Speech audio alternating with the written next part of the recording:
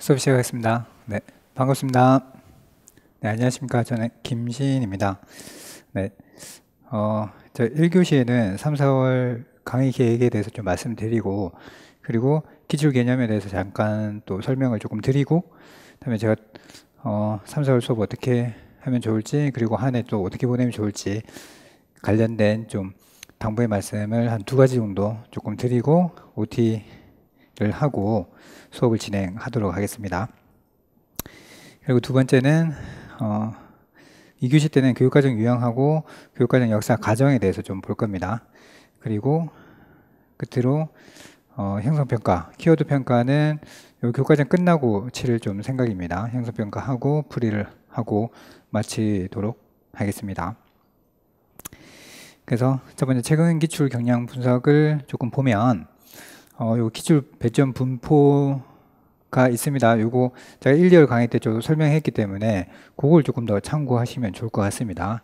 어, 그런데 요것만 좀 보시면 교육과정 계속 나왔죠. 그래서 교육과정 전 중요하게 보고 있습니다.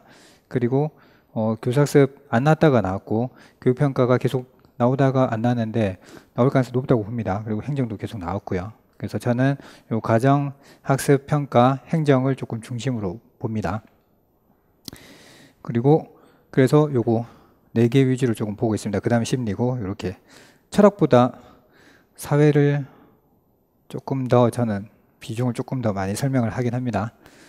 그래서 이것도 관련된 설명을 1, 2월 거 참고하시면 될 것 같아요. 그래서 3, 4월 강의 계획을 말씀드리면 어, 3, 4월은 1, 2월보다 1, 2월은 기본반이고 3, 4월은 심화반이거든요. 그래서 수업 내용도 어, 교육학 네, 02년부터 객관식 문제죠. 1회 이상 출제된, 그러니까 기본반은 2회 이상 출제된 개념 위주로 했었거든요. 그런데 여기서는 1회 이상 된 기출 개념 중심을 조금 하고 형성평가에서도 어, 유초등 문제뿐만 아니라 7급, 9급 문제까지 다룰 예정입니다. 그리고 오리얼반은 저는 어, 기출 문제를 중점적으로 풀어낼 생각이거든요. 그래서 1, 2월반도 기본반 문제가 제가 매회 한 10문제 정도 풀었습니다. 16강 정도 되니까 160문제 정도 되겠죠. 그리고 지금도 어, 매회 10문제씩 할 거니까 160문제 정도 될 겁니다. 그럼 1, 2, 3, 4월 해서 320문제 풀었고 또 기출 가서도 문제를 풀 건데 제가 어차피 기출 문제를 풀거 어, 다 해보면 좋겠다 이런 생각이 들어서 제가 어, 교육학 우리 중등 거랑 유초등 거랑 이렇게 하니까 어, 지금하고 관련돼 없는 문제들도 많잖아요. 예를 들어서 뭐 교육 철학 같은 문제는 뭐 태학이라든지 뭐 서당이라든지 이런 문제도 좀 출제가 됐었거든요. 그런데 지금 그런 문제를 다루는 게 조금 의미가 없기 때문에 그런 문제 삭제하다 보니까 문제가 많이 줄어들어요. 그래서 어 그리고 또 7급, 9급 문제에서도 좀 좋은 문제들이 많이 있기 때문에 그걸 다 모아오다 보니까 한 천 문제 정도 되겠더라고요. 그래서 제 예상은 5월 어 기출 문제 문제를 지금 거의 다 모아놨습니다. 그래서 만들고 있는데 기출 천재 정도 해서 천 문제 정도 풀면 좋지 않을까 싶습니다. 그런데 1, 2, 3, 4, 5월 달에 한 320문제 정도 풀었기 때문에 물론 이걸 안 한다는 건 아니고 천 문제 정도 풀면은 우리가 기출 문제 걱정은 안 해도 되겠다 이런 생각을 하고 있습니다. 그리고 두 번째 교육학의 흐름과 방향을 파악하기. 그래서 3, 4, 5 심화반에서는 어, 전체적인 교육의 흐름들을 조금 아시면 좋겠다. 그래서 교육 과정에서도 처음엔 개발이잖아요. 개발을 하다가 그 다음에 이제 실제 모형이 중요하다. 실제적으로 이 개발만 해오는데 이 교육 과정의 실제가 어떻게 되는지 보자. 그런데 또 넘어서 이해 중심으로 넘어가야 된다. 교육 과정을 우리가 이해해야 된다. 이런 쪽으로 넘어갔잖아요. 큰 흐름을 좀 파악할 필요가 있습니다. 그래서 어, 지금 제가 간략하게 설명해 드렸는데 요 세부적으로 교육과정뿐만 아니라 교육과정 사회학이랑은 어떤 연관이 있지 이런 거를 어, 교육과정뿐만 아니라 교육과정 사회학에서도 살펴보고 다른 쪽에서 좀 살펴볼 필요가 있습니다. 그런 의미에서 흐름을 살펴보자는 겁니다. 그리고 세 번째 영속적 이해를 통한 문장 소술하기 1, 2월에는 키워드 중심으로 우리가 조금 암기하려고 했었거든요. 그런데 3, 4월 심화반에서는 한 문장 정도 쓸 수 있는 능력을 좀 배양을 하자. 우리 논술에도 한 문장 정도만 쓸 수 있는 능력이 있으시면 됩니다. 네. 그리고 네 번째, 네, 그래서 핵심, 핵심 한 문장 한 줄 문장 쓰기 이렇게 되어 있습니다. 그 교재는 교과 컴팩트라고 해서 제가 교재 교재 가 나왔는데 이 교재를 쓸 겁니다. 이 교재를 쓸 거고 기본반 교재하고 조금 다릅니다. 저도 오늘 이거 받았거든요. 이렇게 받았는데 페이지가 365페이지입니다. 그래서 하루에 한 페이지씩 하면 교육학을 마스터할 수 있지 않을까 이런 생각을 저는 하고 있습니다. 그래서 요 교재 365페이지 네 요거 정도만 하면 될 것 같습니다. 이게 compact라는 단어가 수학에서는 되게 의미 있는 용어거든요. 이 compact가 그런데 어, 그런 걸 차치하고 compact가 어, 작지만 있을 거 다 있다 이런 뜻으로 해석하시면 될 것 같습니다. 그래서 어, 365페이지 가지고 될까? 네, 전 된다고 생각을 하고 있습니다. 그리고 2번 두 번째 형성편까지 30페이지 내외 그러니까 매회 한 두 페이지 정도 하게 되면 16강이면 32페이지 정도 되잖아요. 마지막은 또 제가 모의고사를 칠 생각이니까 약 30페이지 내외가 될 겁니다. 그리고 키워드 문장 쓰기 한 줄 정도 쓰는 거 네, 이렇게 계획하고 있습니다. 그리고 마지막으로 기출문제로 개념 점검 및 형성평가를 통해서 진단을 조금 해보도록 하겠습니다. 그래서 요거 저 3, 4월 강의 커리큘럼은 우선 교육과정부터 합니다. 교육과정 오늘 교육과정 하고 어, 3강을 통해서 이렇게 할 겁니다. 그런데 어, 제가 1, 2월에서 조금 추가한 거는 여기서 교육 과정에서 재구성 및 실행입니다. 이 부분을 조금 추가시켰습니다. 그래서 이제는 교사가 교육 과정을 만들 수 있는 능력을 길러야 됩니다. 그래서 뭐 교육 과정을 완전히 새롭게 만든다는 의미가 아니라 기존에 있는 교육 과정을 잘 재구성할 수, 재구성해서 이걸 실행할 수 있는 능력, 운영 능력을 길러야 됩니다. 그런 문제가 나올 때가 됐다고 저는 보고 있습니다. 그래서 그런 부분을 조금 더 추가했고, 어, 이번엔 출제될 가능성이 높은 게 요 파트가 아닌가 이런 생각을 합니다. 그래서 조금 더 추가한 부분이 있습니다. 그리고 평가를 어, 두 강에 걸쳐서 할 생각입니다. 그리고 기본반에 비해서 연구 방법을 조금 더 보충을 했습니다. 그래서 처음에는 조금 더 많이 추가할까 했는데 좀 많이 줄였습니다. 줄여서 기본적인 아주 부분만 다뤘습니다. 그래서 예를 들면 핀란드나 독일 같은 경우는 교사가 되려면 박사학위를 받아야지 논문을 써야지만 교사가 될 수 있거든요. 그래서 어, 우리나라는 그 정도는 아니기 때문에 그래도 연구 방법에 대해서 기본적인 객관식에서 많이 나왔습니다. 그래서 기본적인 좀 아셔야 될 필요가 있어서 좀 다뤄봤습니다. 그리고 교육 심리도 두 강에 걸쳐서 할 겁니다. 할 건데 요 제가 추가시킨 부분이 생태학 접근입니다. 브레펜 브레너 요걸 조금 추가시켰고 나머지는 거의 비슷하거나 조금 더 세부적으로 다른 거에 차이가 있습니다. 구조를 조금 다르게 하고 정돈을 조금 했습니다. 그리고 교수 방법의 내용이 조금 많아서 객관주의 쪽이랑 구성주의 쪽이랑 그다음에 매체 이쪽을 실었습니다. 그래서 객관주의 한두 개 조금 더 실었고요. 구성주의에서 한두 개 조금 더 실었습니다. 그리고 매체에서 어, 했는데 좀 추가한 게 집단지성. 저는 작년 문제가 집단지성에 대해서 출제하신 거라고 보거든요. 그래서 집단지성에 대해서도 조금 약간 제가 추가를 했습니다. 그리고 네 번째 교육행정에서 어, 두 강으로 나눴습니다. 그래서 이렇게 조직하고 리더십. 저는 조직에서 작년에 나왔기 때문에 올해는 뭐 동기, 리더십, 의사결정, 요 장악 이쪽 나오지 않을까 싶고 그다음에 우리가 학교 기획에서 나온 적이 있거든요. 근데 그 당시 출제했을 때 이 학교 기획은 교장 선생님하고 관련된 거 아니야? 우리하고 관련이 없는 것 같은데 이런 좀 약간 비판이 있었습니다. 그러니까 노량진에서 또 비판이 있었겠지만 우리 교수님들 내에서도 비판이 있었습니다. 그런 부분에 대해서. 그래서 어, 학교 기획 말고 학교 경영, 그러니까 학급 경영 이런 부분을 제가 조금 더 추가를 해봤습니다. 그리고 교육사회에서 어, 기능과 갈등론이 있는데 저는 교육 사역이 좀 추구하는 바가 조금 평등한 사회로 가자. 우리가 교육이 평등하게 만들려고 교육을 한 것 같은데 어떻게 보니까 하다 보니까 이 불평등한 사회로 교육이 어, 어떤 기여를 한 것 같다. 는 측면이 있었거든요. 그런 논의를 하는 사람들이 갈등론주의자잖아요. 기능론주의자들이 학교가 규범화 사회화시키면서 우리가 좀 더 좋은 삶을 살게 해주는 게 학교다라고 생각하는 반면에 갈등론은 아니야. 오히려 불평등을 조장하는 게 교육인 것 같아. 이런 시각이지 않습니까? 그래서 전체적 맥락은 교육사역은 평등한 사회로 좀 가자. 이런 측면이 강해 보이거든요. 그런 부분을 좀 살펴볼 거고 그리고 제가 추가한 거는 효과적인 학교.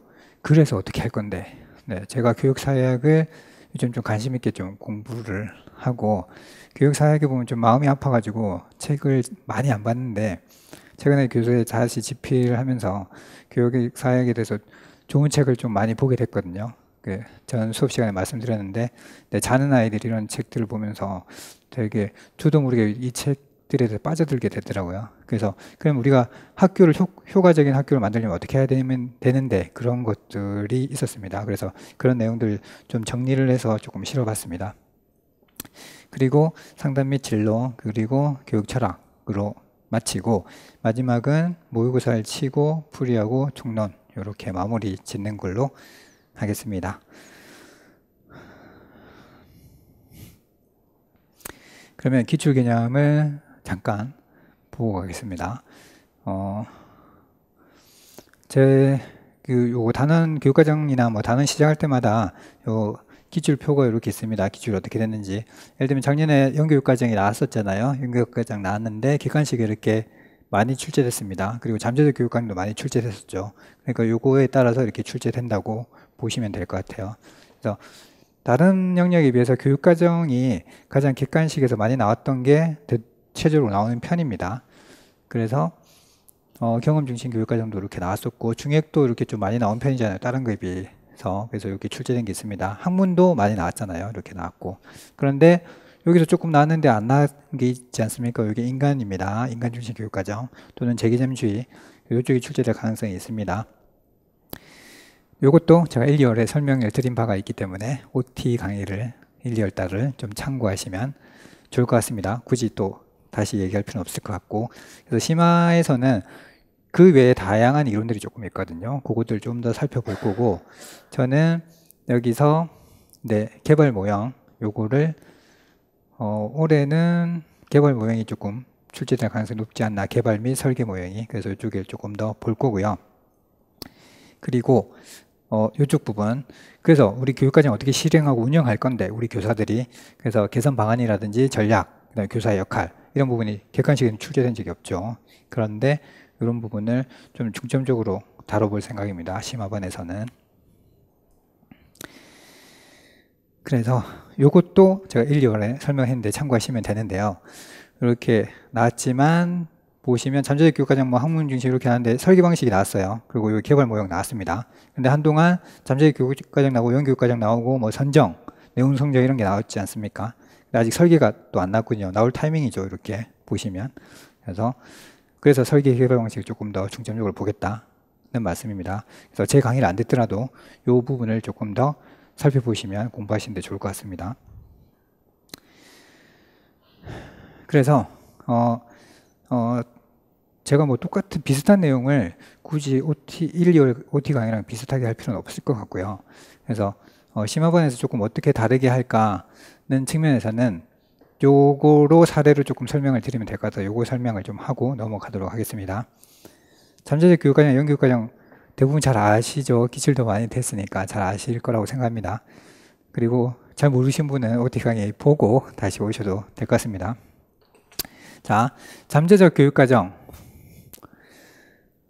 있고 그 다음에 연교육 과정이 있습니다. 잠재적 교육 과정이 뭐죠? 학교가 의도하지 않았지만 학습자들이 학습 경험이 일어난 거잖아요. 어떤 내가 어, 수학 교사인데 애들 수학 잘하라고 수학을 열심히 가르쳤는데 수학을 지루해하기 시작했어요. 이런 게 잠재적 교육 과정이죠. 그리고 연교육 과정은 좋은 교육 과정이 있음에도 불구하고 예를 들어서 어, 지금으로 치면 위생 관리라든지 어떻게 하면 질병을 예방할 수 있는지 이런 거에 대해서 정말 기본 교육이 돼야 되는데 이런 게 좀 배제되어 있잖아요. 그래서 학교가 어떻게 보면 의도적으로 조금 배제한 교육과정 이런 것들이 연교육과정이 되겠죠. 예를 들면 뭐 위쪽에 우리나라는 공산주의 잘 안 가르치죠. 안 가르치고 북한은 자본주의 사회를 잘 안 가르치고 그리고 일본도 우리나라를 침략한 이런 역사들은 잘 안 가르치는 거 이런 게 연교육과정이 될 수 있습니다. 그러면 어, 이렇게 한번 보도록 합시다. 영교육 과정이 있고 그 다음에 잠재적 교육 과정이 있습니다. 있는데 어, 학습 경험으로 한번 볼게요. 학습 경험으로 보면 영교육 과정은 학습 경험이 어떻게 된 거죠? 일어나지 않은 거죠. 우리가 경험하지 못한 교육 과정입니다. 근데 잠재 교육 과정은 학습 경험이 일어난 거죠. 이렇게 볼 수 있습니다. 그리고 어, 계획으로 한번 볼까요?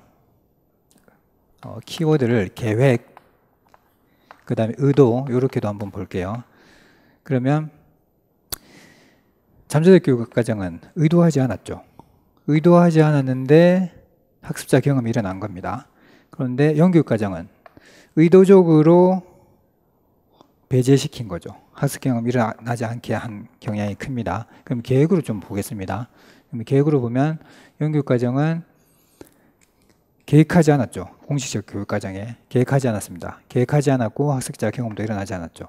잠재적 교육 과정도 계획한 게 아니잖아요. 계획한 게 아닌데 일어난 겁니다. 그래서 이렇게 보시면 누가 물어보면 연교육 과정이 뭐야? 그러면 의도적으로 학습 경험을 배제시킨 거다. 교육 과정을 배제시킨 거다.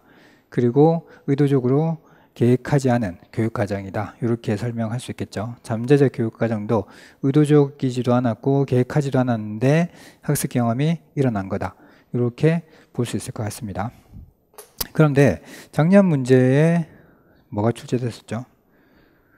작년 문제가 내용 선정의 시사점이 나왔죠. 시사점이 출제가 됐습니다. 이두 개가 출제됐는데 어, 이렇게 본다면 어, 이 사이에 공식적 교육과정을 집어넣을 볼게요. 이렇게 집어넣어 보시면 자 이렇게 한번 꺾겠습니다. 그래서 IG는 뭐라고 했냐면 영교육과정은 공식적 교육과정 사전에 일어나는 거다.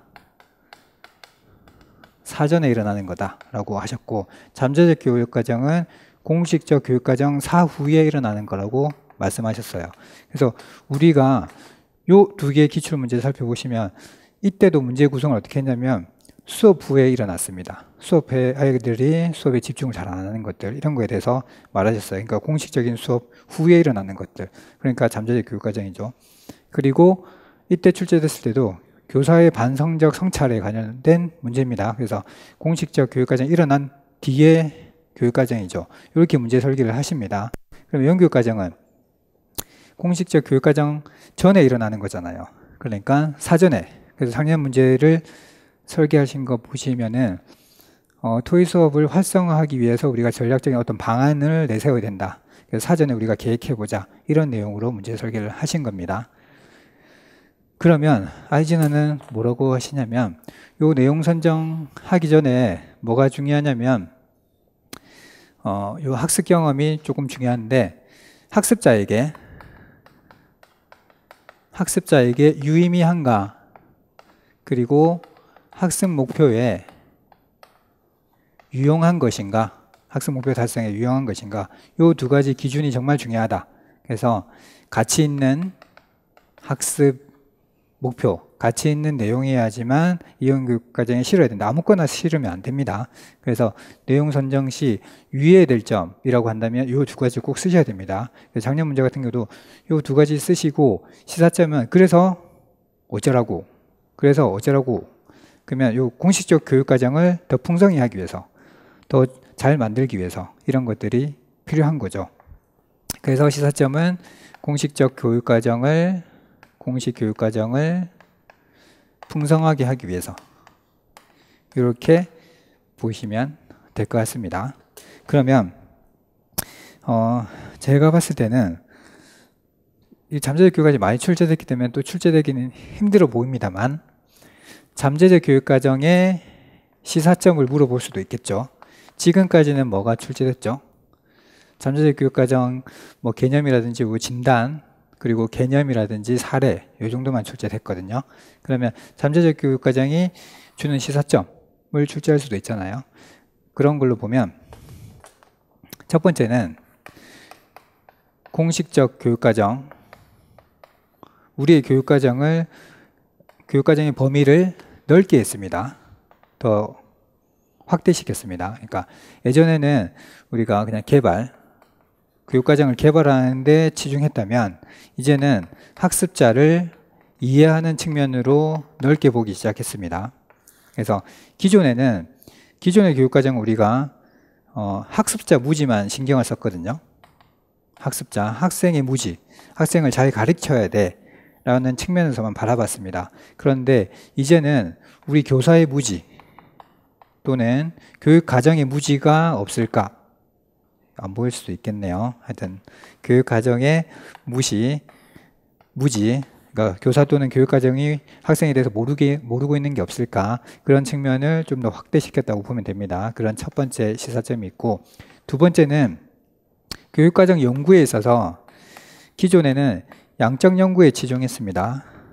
숫자적인 노름만 했던 거죠. 그런데 이 양적 연구에서 질적 연구로 변했습니다. 그래서 잭슨이 이때 잠재적 교육과정 연구하실 때 어떤 걸로 하셨냐면 문화적 기술지라는 거를 이용하셨거든요.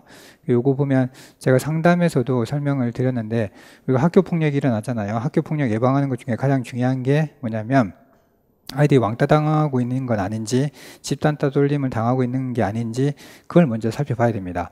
2차 제가 이렇게 조금 상담 드릴 때도 어 애들이 좀 안 좋을 때 전부 다 학폭이 보내야 된다 이런 말씀들을 많이 하시던데 그런 것보다 선생님들이 그런 아이들이 학폭위에 가기 전에 집단 폭력이나 아이들이 폭력을 행사하기 전에 그 전에 먼저 따돌림이 이루어지고 있거든요. 그걸 먼저 관찰하셔야 됩니다. 그러려면 두 가지가 중요한데 첫 번째가 사회성 측정법이라는 게 있습니다. 그래서 요걸 하실 수 있어야 돼요.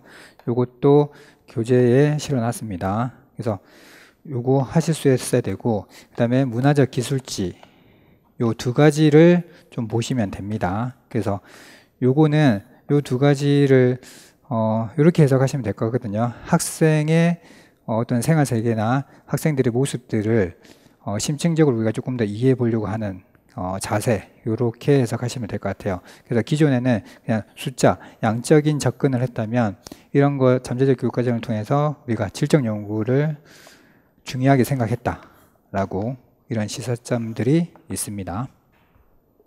그래서 어, 기본반에서는 그냥 한 요 정도 봤다고 치면은 심화반에서는 이렇게 조금 더 심층적으로 이해하는 학습을 하게 될 겁니다.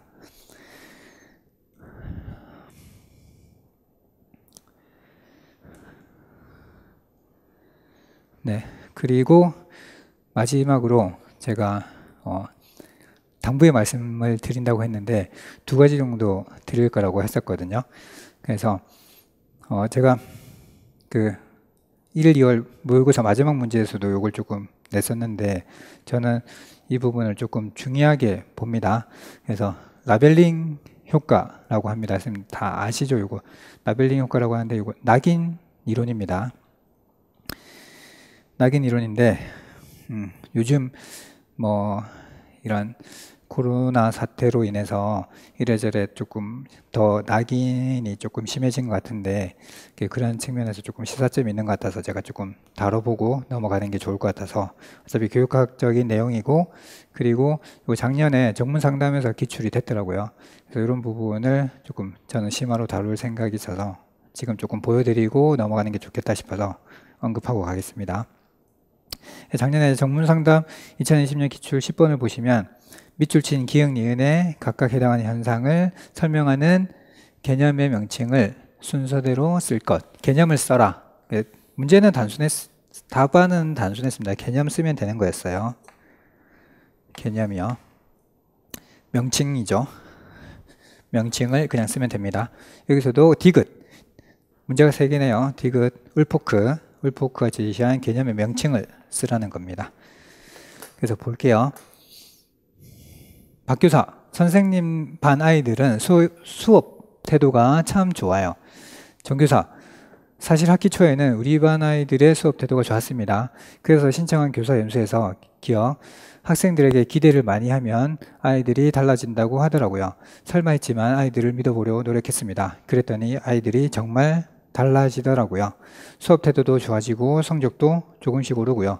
기대죠. 그래서 어 뭐 교사 기대 써도 답안이 저는 됐을 거라고는 생각합니다. 그런데 어 우리는 조금 더 정확하게 쓰는 게 좋겠죠. 그래서 제가 봤을 때 가장 좋은 답안은 요거는 피그말리온 효과입니다. 요거를 쓰시는 게 좋은데 어, 자기 충족적 예언 또는 자기 네, 이렇게 쓰셔도 되고 뭐 이렇게 쓰셔도 되는데 저는 이게 조금 더 맞다고 생각합니다. 기억에서는 왜냐하면 자기 충족적 요구 예언은 제가 알기로 머튼이라는 분이 말씀하셨는데 요거 하실 때 예로 드신 게 뭐냐면 은행이 있었어요. 은행이 있었는데 이 은행이 건실했습니다. 건실했는데 이 은행에 문제가 많다, 부실하다, 돈이 없다 이렇게 소문을 막 낸 겁니다. 안 좋은 소문들을 막 낸 거예요. 그러다 보니까 사람들이 어, 저 은행 안 좋은 것 같아 하면서 돈을 막 빼기 시작한 거죠. 은행에서 돈이 없으면 파산하겠죠. 그렇게 하면서 은행이 망하게 된 거거든요. 그래서 요거는 어, 긍정적인 거, 부정적인 거 다 포함합니다. 자기 충족적 예언은 다 포함하는데 피고멀리언 효과는 긍정적인 요소를 보는 거죠. 그래서 여기 보면 수업 태도도 좋아지고 성적도 조금씩 오르고요 라고 했으니까 요거 써도 틀린다고 할 수는 없습니다 교사 기대라고 해도 맞다고 했을 것 같습니다 그렇지만 요게 좀 더 정확하지 않나 싶습니다 그리고 박교사 우리 반 네, 작년에 학교 폭력으로 징계받았던 아이들이 있는 거 아시지요? 네, 징계, 징계받았던 아이들입니다. 그래서 나, 학기 첫날 이 아이들을 우리 반인 것을 알고 혹시라도 문제 일으킬까봐 조종내 시간에 수시로 주의를 주었거든요. 라벨링 한 거죠. 낙인 한 겁니다. 그래서 여기는 낙인 이론 또는 낙인 효과 이렇게 쓰시면 답안이 된 것 같습니다. 그래서 여기서 조금 더 비교하자면 이렇게 되면 애들이 어떻게 되면 여기 골렘이라고 있었거든요. 이걸 골렘 효과라고 합니다. 이런 애들이 점점 안 좋아지는 겁니다. 피그말리오는 피그말리온이라는 조각가가 갈레테레아 조각상을 잘 조각해서 사랑에 빠지니까 이 조각이 사람이 된 거죠. 그러니까 좋은 걸로 변한 겁니다. 그런데 이렇게 낙인하거나 안 좋게 하면 골렘, 그러니까 골룸이라고 생각하시면 됩니다. 이렇게 안 좋게 된다, 악마로 변한다라고 생각하시면 되거든요. 이런 효과들이 있다라고 하는 겁니다. 그래서 지금도 몇몇 지역이나 이런 데 조금 안 좋게 표현하신 분들이 있는데 저는 그런 건 우리 적어도 우리 교직사에서는 좀 바람직하지 않지 않나 이렇게 조금 생각을 하고 있습니다. 그래서 그런 것보다는 좀 기대하고 격려하고 이런 게 좀 바람직하지 않을까 이런 생각을 합니다. 그래서 요거 이교사 볼게요. 최성현님 반 수업이 오늘 있었는데 수업 시간 태도가 안 좋고 수업 내내 엎드려 있는 아이들이 있더라고요. 그런데 이 아이들이 학기 초 에는 수업 태도가 나쁘지 않았어요. 집중도 잘하고 수행평가 결과도 제법 좋았고요. 그런데 지금은 학기 초랑 많이 달라진 것 같아요. 처음엔 좋았네요. 근데 최 교사 디귿 볼게요. 저는 학기 초에 아이들이 좋은 태도로 보일 좋은 태도를 보일 때도 별로 기대하지 않았습니다. 대부분의 학생들이 잠깐 태도가 좋아지다가 다시 원상태로 돌아가는 것을 한두 번 겪은 것도 아니니까요. 그래서 제가 요거에 대해서 질문을 좀 받았거든요. 그래서 요거 조금 어렵게 생각하신 분들이 있는데 이게 뭐냐면 기대 유지 효과입니다. 이렇게 써도 되고 기대 지속이라고 써도 되고 요거 자리 바꿔도 됩니다. 상관없습니다. 그래서 이거 번역하기 나름이니까 그래서 이렇게 답안 쓰시면 되는데 이 개념이 뭐냐면 어, 아이들이 교사가 기대한 만큼 성장하는 거라고 생각하시면 됩니다. 내가 아이들 수준 저 정도만 보는 거예요. 그럼 아이들이 그 정도 수준밖에 크지 않는 겁니다. 그래서 제가 이 개념을 비고스키의 GPD로 한번 설명을 해볼게요. GPD 여기, 여기가 실제 영역이잖아요. 아이들이 할 수 있는 거. 그리고 요 구간이 GPD죠. 그요 밖에 있는 게 잠재 능력입니다. 그래서 아이들이 할 수 있는 거 그냥 요것만 기대하고 요것만 가리키면 여기에 머무를 수밖에 없습니다. 아이들은. 근데 교사가 요 부분을 잠재 능력을 잘 파악하고 잘 이런 부분을 잘 교육시키면 아이들은 성장하게 되어 있습니다. 그래서 교사가 아이들한테 어떤 기대를 하고 어떤 어, 격려를 하느냐에 따라서 아이들의 성장 태도는 달라진다. 이렇게 보시면 됩니다. 그리고 또 제가 제 교재도 이 용어를 조금 실어놨는데 플라톤이 그런 말을 합니다. 어, 교육의 출발점, 교육의 시작점이 그 아이의 미래를 좌우한다. 그런 말씀을 하셨거든요. 그 제가 좀 그렇네요. 그래서 이 코이의 법칙이 있습니다. 제가 좋아하는 말이거든요. 그래서 관상어 중에서 코이라는 잉어가 있습니다. 이 비단 잉어 코이는 살아가는 환경 여건에 따라서 크기가 다르게 성장한다. 네. 그래서 스님들이 어떻게 아이들한테 마음을 가지냐에 따라서 아이들의 성장, 어, 그 크기가 달라진다. 이렇게 보시면 될 것 같습니다. 그래서 기대 유지 효과 이거 중요합니다. 네.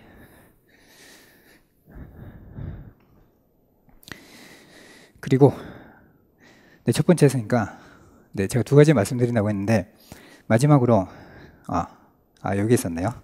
제가 알베트 반두라 그 제가 또 교제하면서 행동주의에 대해서 또 더 봤는데 이게 재밌더라고요. 행동주의가 그 객관식에는 많이 출제됐습니다. 아주 많이 출제됐었는데 음, 우리 논술에서는 좀 비중이 낮은 편이죠. 이쪽이 그런데 어, 대부분 되게 매력적이더라고요. 이 학문이 그래서 그때 가서 좀 잘 가르쳐 드리겠습니다. 그리고 행동을 이끄는, 이끄는 것은 강화 그 자체가 아니라 기대이다. 그래서 어, 이분들이 말한 게 근데 강화물로 인해서 애들이 자극받아서 이렇게 행동하는 게 아니다. 그래서 그 강화물에 근거한 기대로 인해서 아이들이 성장하는 것이다.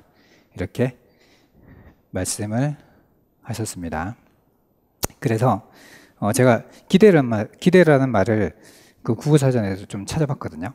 그래서 이렇게 돼 있더라고요. 명사네요.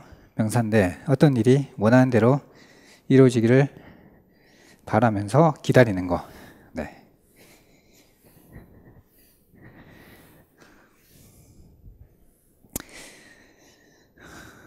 네. 그래서 저도 어, 스님들이 꼭 합격하시길 기대하고 또 대한민국이 잘 이거 위기 극복을 잘 할 수 있도록 제가 기대하도록 하겠습니다.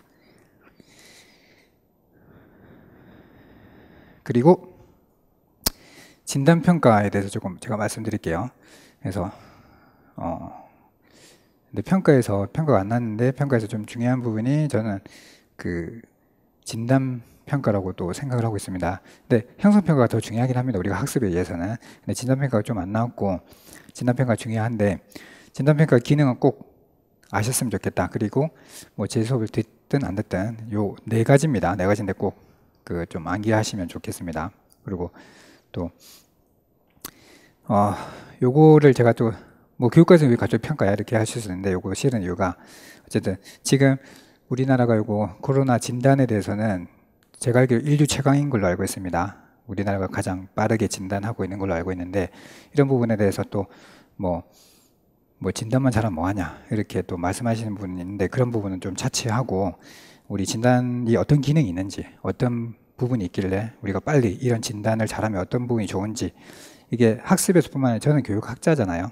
그래서 이 교육에 대해서도 설명할 수는 있겠지만 지금 우리 코로나 이런 사태에 대해서 진단을 잘하고 계시는데 이런 부분에 대해서 우리가 어떻게 어, 교육학으로 접근을 할 수 있는지 좀 살펴보고 또 중요한 측면이니까 이 정도는 좀 암기하고 가시면 좋겠다 싶어서 말씀드리고 어, OT를 좀 마치도록 하겠습니다. 그래서 첫 번째는 선행학습 정도의 확인입니다. 그래서 진단을 하게 되면 우리 아이가 그동안 무엇을 배워왔는지 알 수 있습니다. 그래서 지금 코로나만 봐도 우리가 메르스, 사스를 통해서 우리가 무엇을 배워왔는지 이 진단을 통해서 알 수 있다는 겁니다. 그래서 그래서 어쩌자는 건데 두 번째가 학습자의 출발점 행동을 진단할 수 있습니다. 이제 출발할 수 있습니다.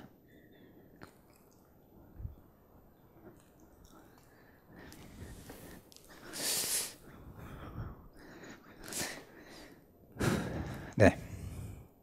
그래서 어, 출발점 행동을 진단을 할 수 있고요. 그리고 어, 세 번째가 그 수업을 시작하기 전에 진단 평가는 정치하는 기능을 한다. 네. 그리고 이제 출발점 행동을 진단할 수 있으니까 그다음에 학습자를 배치할 수 있습니다. 이렇게 그 우수 학습자, 저 하위 학습자 이렇게 어, 배치를 시켜서 거기에 맞는 학습을 실생, 실행할 수 있겠죠. 그래서 어, 코로나로 조금 치면은 경증 환자, 중증 환자 이렇게 분류할 수 있겠죠. 이렇게 분류해서 우리가 이제 처방을 이제 내릴 수 있을 겁니다. 그리고 마지막으로 교수 설계의 사전 전략입니다. 그래서 이렇게 해서 우린 전략을 세울 수 있습니다. 수업을 어떻게 해야 될지. 네. 그리고 요걸 또 좀 비교하자면 어,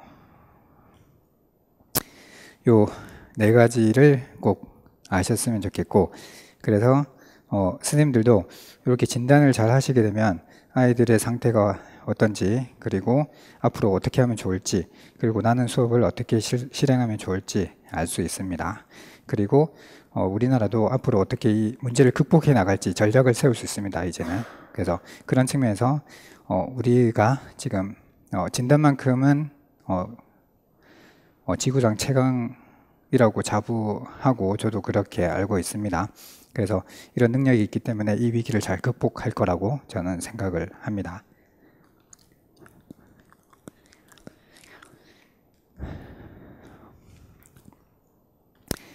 네, 그리고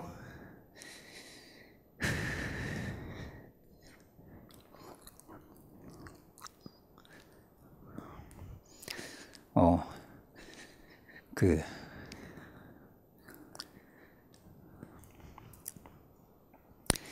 어쨌든 그 건강하시고 공부 잘 하셨으면 좋겠습니다. 어, OT 강의를 마치도록 하겠습니다. 네, 수고했습니다. 네.